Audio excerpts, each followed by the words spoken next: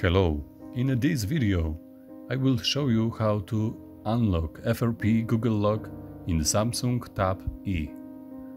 If you have any question, please write below in comments.